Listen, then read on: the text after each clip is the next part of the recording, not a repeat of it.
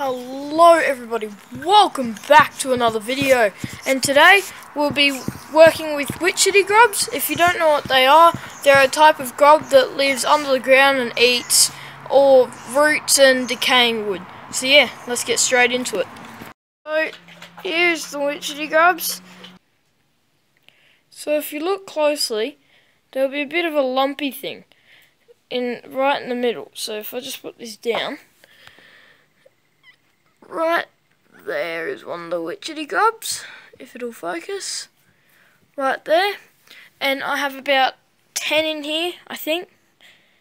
So yeah, it should be good. The thing we'll be doing is taking this drill here and we'll be puncturing some holes into the top so that it allows air. So let's get straight into it.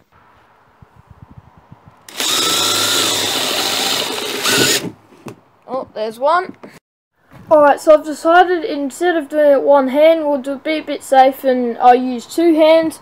So, yeah, let's keep going.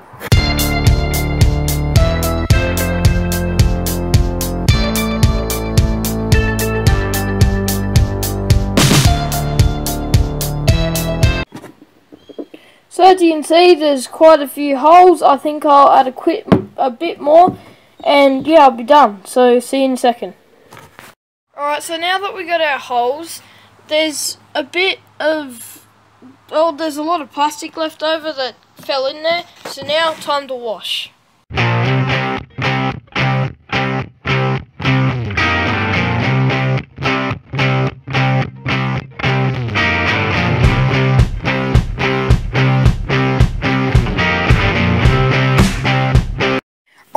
So now it's time for the substrate. So for substrate, I'm using Australian Central Desert Sand, some of my backyard soil from just over there, and some garden soil mix.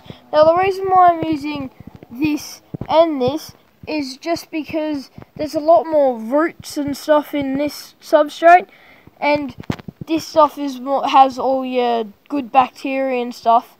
So for the plant, which I'll get to that later. So let's get straight into that. First, the sand.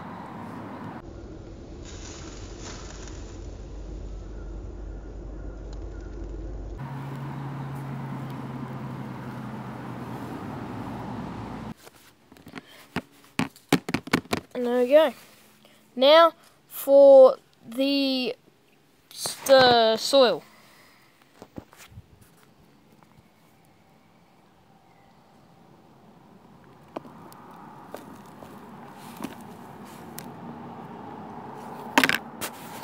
Alright, so now I'm just gonna mix all that.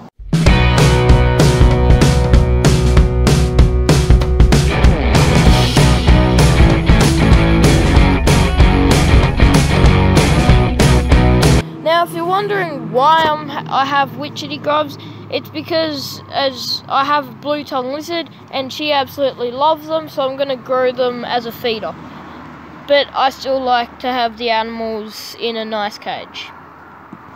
So now for the my backyard soil.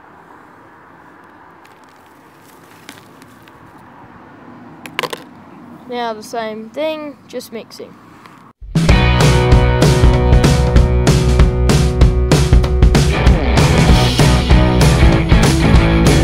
So I've just added a bit more soil on the top just so the plant and it also soaks in the water. And I've just given it a nice spray down. So now time to add the plants.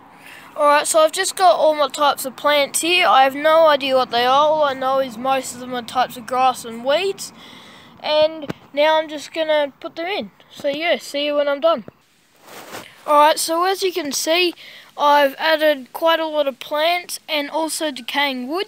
Now there's two reasons. One I the plants don't really matter. It's more the roots. They eat the roots. And also, two, I put the rotten decaying wood because they eat rotten decaying wood. So I put that in there from an old log. And now, I guess it's time to release them.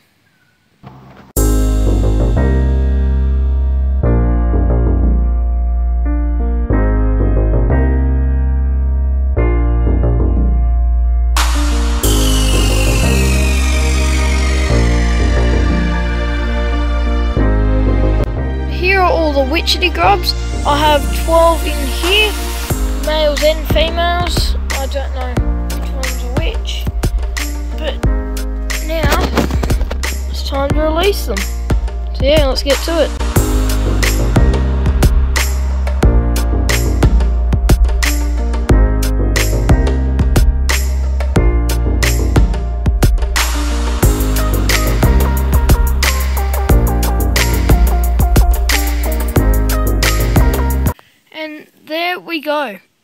12 witchetty grubs.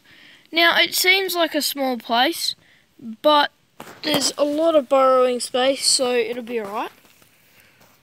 Now we got a couple already burrowing. If you can see him under there. Then there's this one. If I move that out of the way.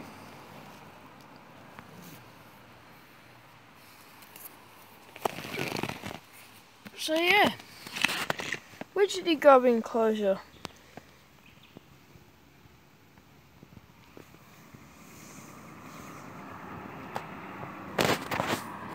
So the reason why on the past two videos and I make the cages like this and make it so look nice and fancy isn't because for looks. I like to think when I'm making cages if I'd like to live in it and I'd like to be that animal and live in that cage.